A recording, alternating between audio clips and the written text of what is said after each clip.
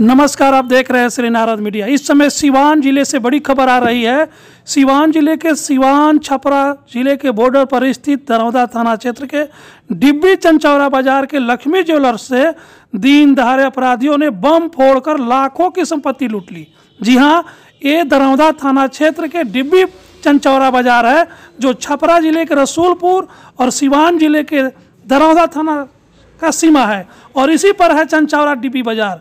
यहाँ पर शनिवार की शाम अपराधियों ने धनाधन, बम फोड़कर और आभूषण लूट कर चलते बने। हालाँकि आप वीडियो देख रहे हैं, सैकड़ों की संख्या में बाजारवासी हल्ला कर रहे हैं, लेकिन उनका कोई प्रभाव नहीं है और अंततोगतवा अपराधी पाँच लाख के आभूषण लूट कर भाग गए।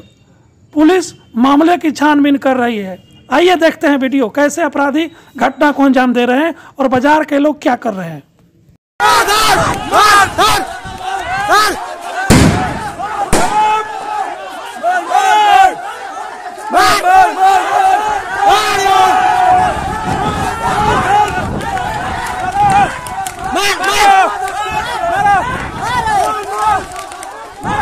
Lan!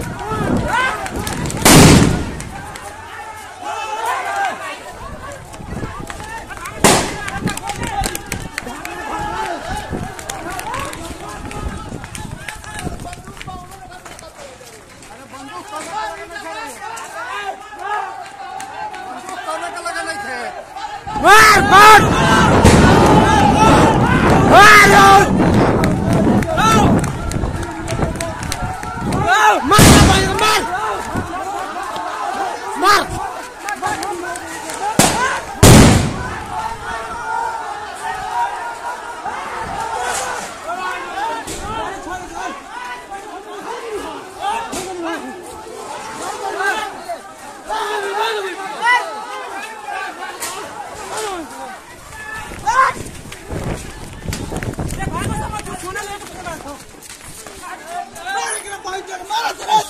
tomorrow.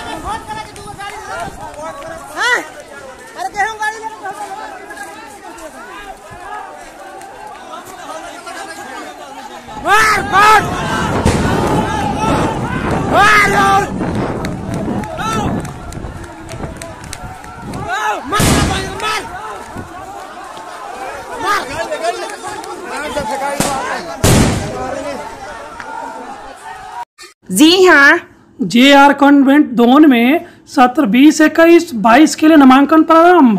वर्ग नर्सरी से ग्यारहवीं तक। आज ही संपर्क करें। J R convent Sunita Vidyanagari Don Darauli Siwan Bihar. Mobile number seven five four seven zero four five one one eight. Nine five seven six four six six four six one.